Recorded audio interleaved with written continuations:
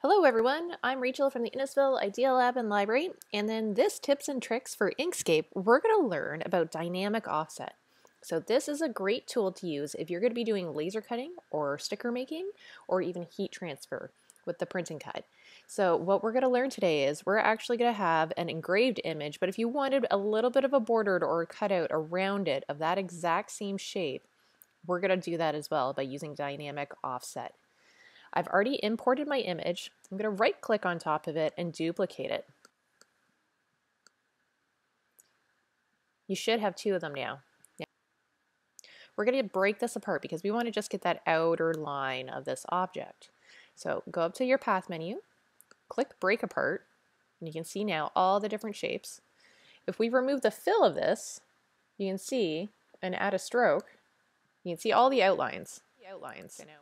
So now we want just this outline shape.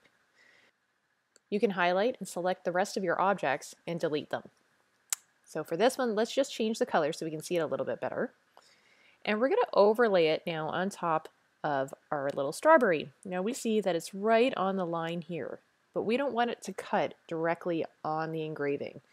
We're going to now kind of space it out. And how you do that, go up to Path and click Dynamic Offset you're going to notice that there's now a little red triangle and when you click and drag this you can make it either bigger or smaller.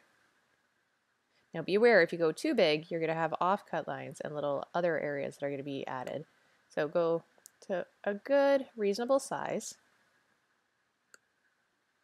and then you can go over to your stroke paint and add in the magic number to cut 0.001 in inches. And that is how to use the dynamic offset tool when creating items for the laser cutter or the print and cut. I'm Rachel from the Innisfil Idea Lab and Library, and that is your tips and tricks on Inkscape. Thanks and have a great day.